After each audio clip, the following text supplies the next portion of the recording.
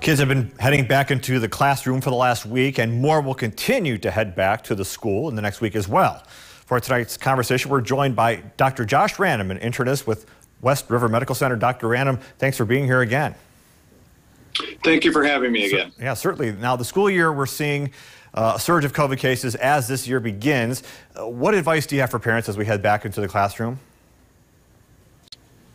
Yeah, certainly this year, uh, this school year, another school year uh, affected by COVID uh, brings brings a different set of challenges. Uh, we've seen across the southern United States as they go back to school a little bit earlier than than we do that there has been uh, more cases among the younger uh, kids than there had been in in all of 2020. So uh, Delta is uh, unfortunately alive and well and and can affect uh, uh younger kids. So you know the primary advice that, that we would have would just have have a very low threshold for having your child uh, be tested. Um, you know, COVID in kids. You know, fortunately, it is is mostly uh, well tolerated, but it, it, certainly can be serious in some cases. what we're worried about is the continued ongoing spread. So if there's any you know, cough, cold, illness, especially in a cluster uh, among the classroom, you know, please remove the child from school, have them get tested to ensure that we're not uh, spreading it uh, back and forth. Yeah, you touched on a couple, but do you have any more tips for parents and kids on being conscious of spreading COVID? So, um, you know, we, we, we continue the, I, I, just reviewed the American Academy of Pediatrics guidelines before uh, coming on today, and uh, they, they still do recommend masks. I know that's a, a whole, um, you know, half hour town hall uh, in, and, in and of itself. Um, but as, as cases ramp up, I do think we're going to see the uh, reconsideration of, of mask policies and, you, you know, parents of students that are that are concerned can certainly uh, uh, have their kids wear masks in school. That still has a role. Um, you know, schools have been through this. They've they've got some you know mitigation strategies in place in terms of uh, distancing and contact and all that. Um, what I've noticed across the state right now, a lot of those things are, are kind of on pause until we get more cases. Well, you know they they are coming. Um, and, and, certainly the the primary recommendation that we have to limit the risk of spread and limit the risk of severe illness is for all eligible patients to receive the covid vaccine. Um, that includes you know adult staff members of the school and, and, and kids over the age of 12 for which the uh, the pfizer vaccine has fda approval now.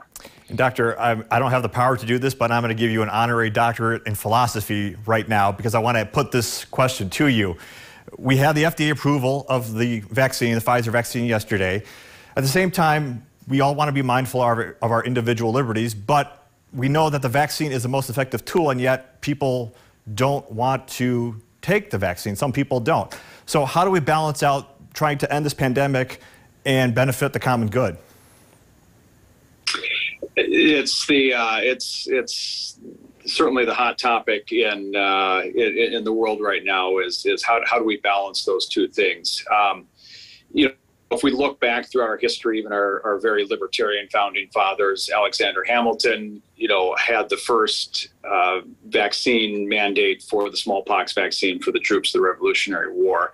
Uh, you know, certainly uh, widespread use of vaccinations has been wholly embraced by our society uh, in in pandemics and, and, and epidemics past. Um, you know, one has to think or read back on the uh, polio uh, epidemic of the 1950s, and the uh, news of vaccination was greeted with church bells and and um, you know significant uh, celebration. Um, you know, I think the big thing that we ask is is everybody has a role to play in in preventing uh, the transmission of COVID, uh, even if they are at individual uh, low risk of disease. This is a societal based effort, and um, everybody's it's like pixels on a screen. Everybody's individual effort combines to create the whole picture or you know in this case the, the, the whole immunity so you know what we're asking is people to sort of look outside the two square feet that they uh, that they stand in and and look at the bigger picture and